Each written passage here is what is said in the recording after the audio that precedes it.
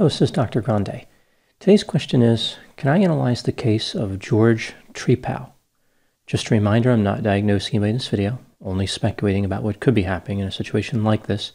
If you enjoy this video, please like it, subscribe to my channel, and consider supporting me on Patreon. I will put the link to Patreon in the description for this video. First, I'll look at the background of this case. I'll move to the timeline of the crime, then offer my analysis. George James Trepal was born in 1949 Apparently, Trepal is how he pronounced his last name. It seems a little unusual to some people, like he's friends with a tree, like a tree pal, but this is what I found out. This was the pronunciation. His father was a police officer in New York City. In 1972, George earned a degree in psychology from the University of South Carolina, but he also studied chemistry when he was there. In 1975, he was arrested after operating a methamphetamine lab and selling the drug. He served two and a half years in federal prison.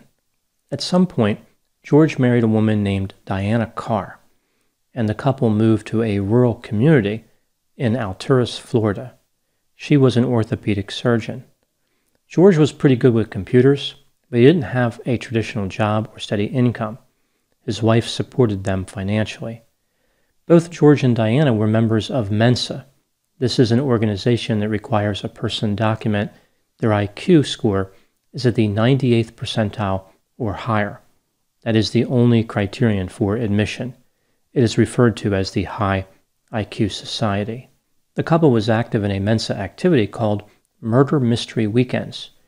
They would host invitation only parties where they would stage a fake homicide and reveal clues so that guests could try to solve the murder. George considered himself to be an expert on police procedure and crime scene management. In 1988, George and Diana started having difficulties with their neighbors, a newly married couple named Peggy and Pye Carr. Diana's last name is also Carr, and it is spelled the same way C A R R.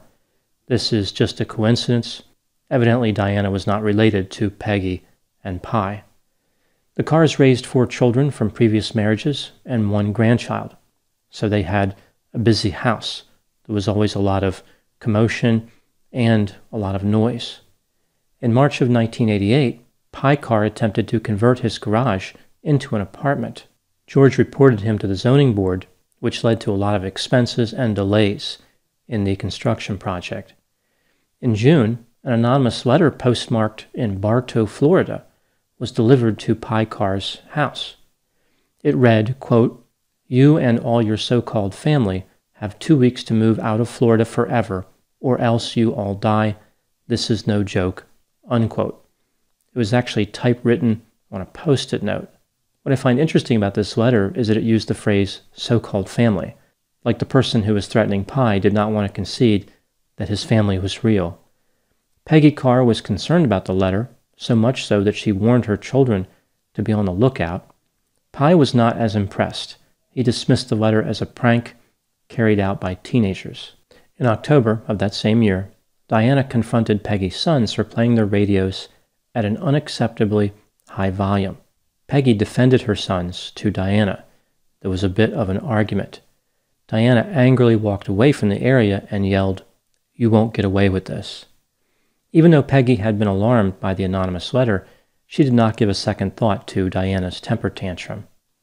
Later that same month, Peggy was at her restaurant job when she started to have pains in her chest and legs, as well as numbness in her hands.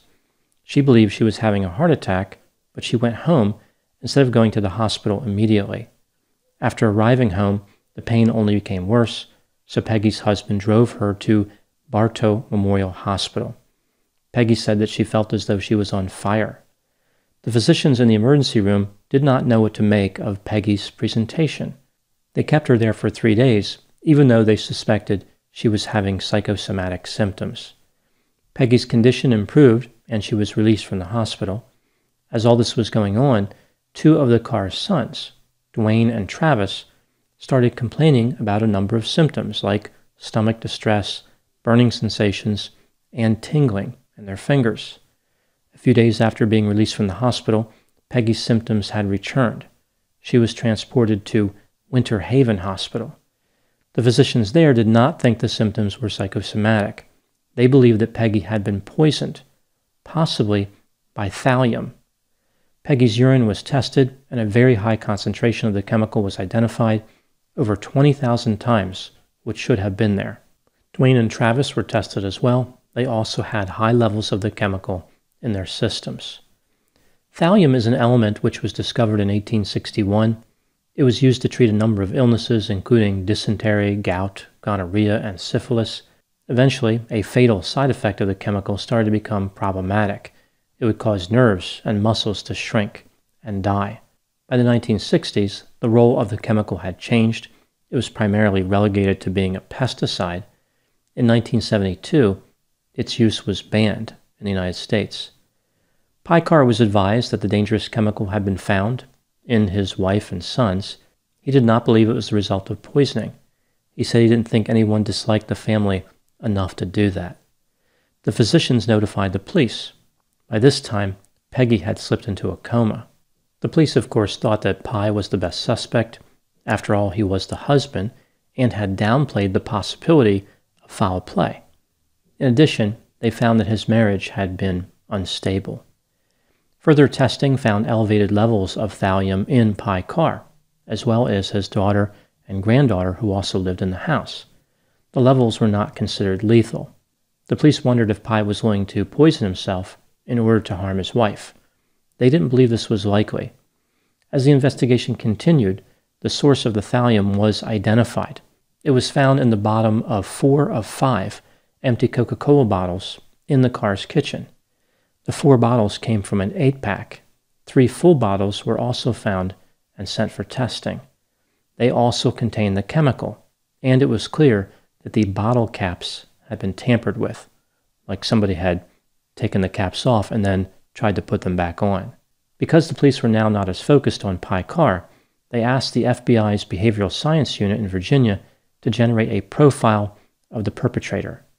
The profile specified a white male in his mid 30s who was intelligent and preferred to resolve conflicts without direct confrontation. The man would have made a number of threats toward the targets and would take pleasure in watching them die from afar. More so than the threatening letter, this profile needs a disclaimer this is no joke. These FBI profiles are so obvious and uninspired, I think they lead to more harm than good. The police interviewed a number of people who had contact with the Carr family. When they interviewed George Trepal, he mentioned that he thought somebody wanted the family to move out of the neighborhood. He was the only one who mentioned that the Carr family might be getting pressure to do that. The police believe this may have connected George to the anonymous threatening letter. The police started to focus on George as a suspect. They searched his trash at both his house and his place of work, but had no success with proving George was involved. On March 3, 1989, Peggy Carr died. The case was upgraded to homicide. The next month, an undercover officer named Susan Goreck, wrote to George and requested an invitation to one of those Mensa murder mystery weekends. George agreed, and Susan met him at one of those events in mid April. George liked Susan, and the two started spending time together. Susan noticed a few items of interest as she spent time with George. For example, he had an Agatha Christie novel on a table that featured a killer who used thallium, he suggested to Susan that she blackmail her husband to get a favorable divorce settlement, and he talked about how she could send poison flowers. These items were not really enough to get a search warrant. The investigation was going nowhere. In November of 1989, Susan believed that her luck had changed. George told her that he and Diana were moving to Sebring, Florida, and they're going to rent their house in Alturas. Susan asked if she could rent the house, and George agreed. This gave the police the ability to search the residence, which they did. Eventually, lab technicians reported that they had found traces of thallium from a small brown bottle which was found in George's garage. George was arrested in April of 1990 and charged with 15 crimes one count of first degree murder, six counts of attempted first degree murder, seven counts of poisoning food or water, and one count of tampering with a consumer product. George's residence in Sebring was searched. The police found a few books on poison, as well as a number of BDSM related items, including a soundproof, windowless secret room. George was found guilty of all charges on February 5, 1991. The next month, he was sentenced to death. At the time making this video, George remains on death row. In 2018, his wife Diana Carr died after a stroke. She was 69 years old. Now moving to my analysis.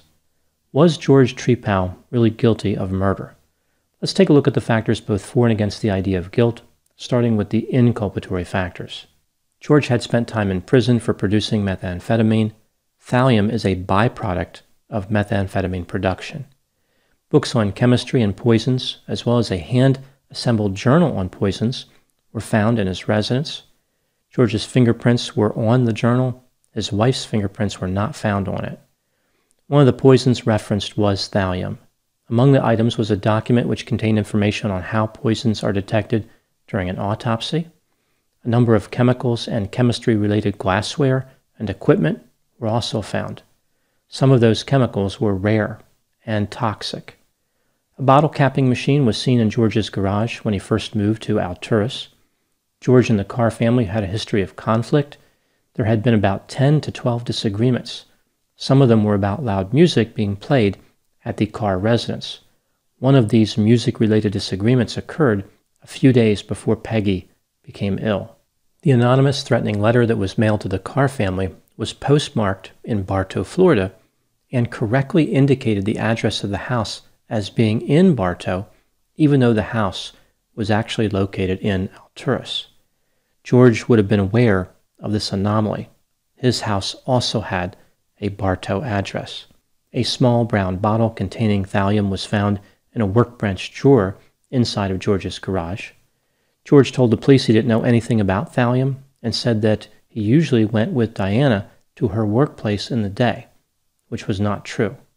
George stayed at home and could have easily accessed the Carr family residence.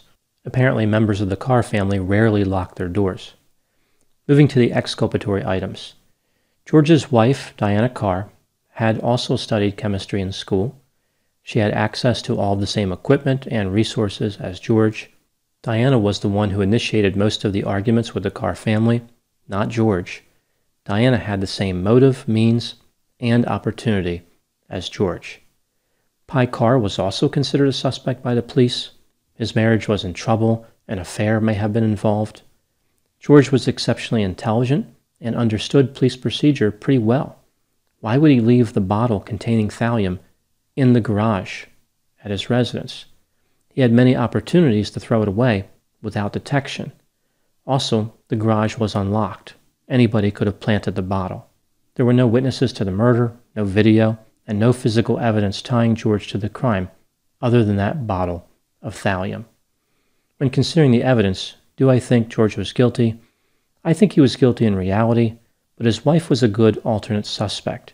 She could have sent the anonymous letter, she could have poisoned the Carr family. This creates reasonable doubt. So I think he was not guilty beyond a reasonable doubt. Here's what I think happened in this case. This is just a theory, my opinion. The Carr family behaved poorly. They played loud music, drove four wheelers across George's property, allowed dogs to bark out of control. When George or Diana would approach the Carr family, they would resist to making any changes. They were cantankerous and argumentative. George and Diana became infuriated. They decided to poison the Carr family. They entered into a conspiracy to commit murder. At the very least, Diana had to know that George was responsible for the poisoning. With her background in chemistry, she must have known that the Carr family being poisoned and her husband being an expert in poison was not a coincidence. George and Diana were very intelligent and interested in murder mysteries. Maybe their whole plan of getting away with the crime was based on the idea that either one of them could have been guilty, but there was no way to know which one.